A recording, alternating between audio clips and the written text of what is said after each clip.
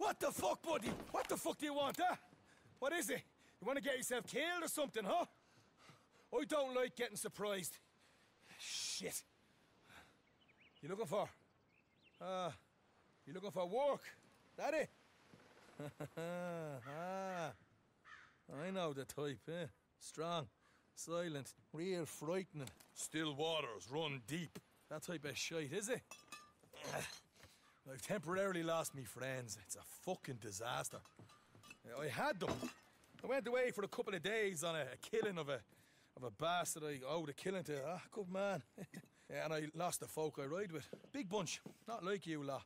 No, we lived like sultans in our fucking tents. I'll find them again. I've lost them before, you know. Once it was for three months it was. That's how it goes, I guess. Anyway, where was I? Oh, yeah, yeah. Murder and mayhem.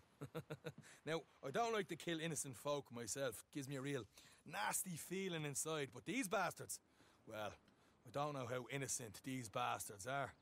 There's a stage, runs out of Aurora Basin. I heard a fella say it's laden with silver. I can't rob it. And I can't guarantee someone else isn't going to try. But it'd be a rotten shame to let it pass by. Anyways, on with yous.